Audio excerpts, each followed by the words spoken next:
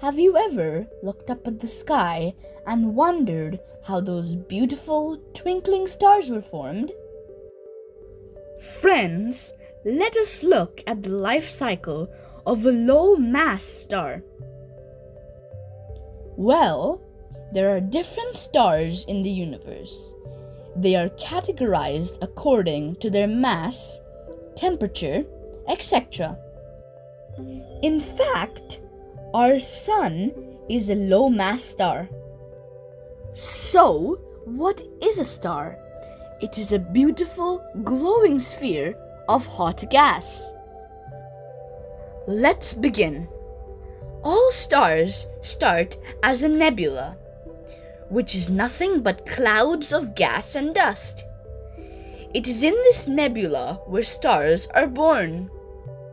Now, gravity begins to pull these clouds of gas and dust together. The collision of gas molecules causes friction, making it glow. Thus, a protostar is born, a glowing spherical object, the earliest stage of a star's life. It continues to collect mass. Gravity pulls it to the core, and when it reaches a certain temperature, nuclear fusion takes place.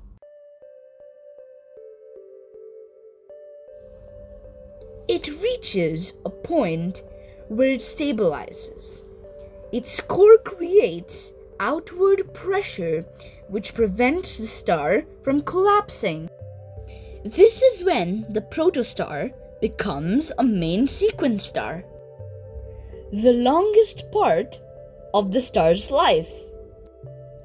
About 90% of stars in the universe are main sequence stars. Eventually, the main sequence star runs out of hydrogen. The force of gravity then overpowers the outward pressure, causing the star to collapse. The outer layer of the star, which is mostly hydrogen, starts to expand. As it expands, it cools and starts to go red. When the temperatures reach 200 million Kelvin, helium atoms fuse to form carbon in the core. However, the helium runs out quickly and the core collapses again.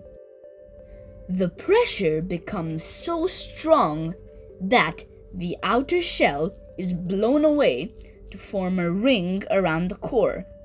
This is the planetary nebula stage. The hot core of the star that is left behind cools and becomes a white dwarf, which is extremely dense. Once all of its energy is gone, it becomes a black dwarf.